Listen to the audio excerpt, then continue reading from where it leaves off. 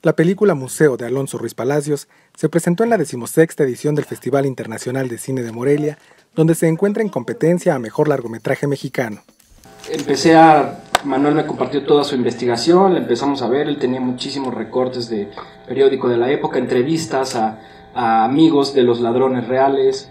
Y entonces, como que dijimos, pues eso, eso es una parte de la, de la, de la película que queremos hacer como este, hablar sobre la ficción adentro de la historia y la relación entre las dos.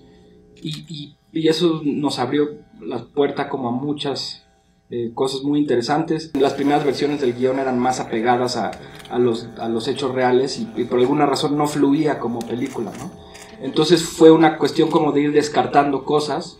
Pues era viajar, eh, visitar Palenque, estar dentro del Museo de Antropología pues es, un proyecto muy importante, lleno de regalos, ¿no? La verdad es que muy, muy contento. Gael García Bernal habló también de lo importante que es reflexionar en torno a la preservación de la historia de un país. Lo que la película de alguna manera trata de, de emprender es una reflexión también muy profunda e interesante y muy compleja, ¿no? Gris, este, que es en torno a la preservación y al saqueo. Y muchas de las cosas que vemos en los museos existe gracias a ese saqueo, gracias a ese momento en donde se ultrajó algo de la tierra.